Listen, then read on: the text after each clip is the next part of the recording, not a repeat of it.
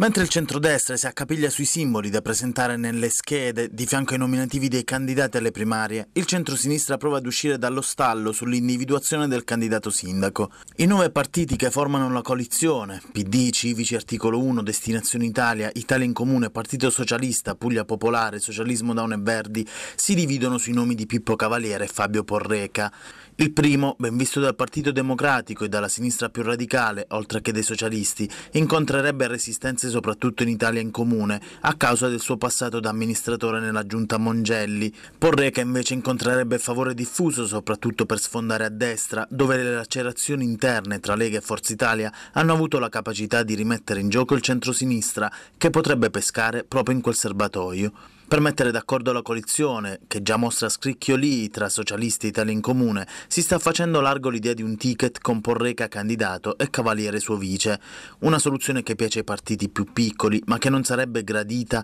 ai maggiori azionisti di maggioranza, che in caso di vittoria vedrebbero così già svanire due postazioni di comando strategiche. Nel fine settimana è atteso un nuovo vertice.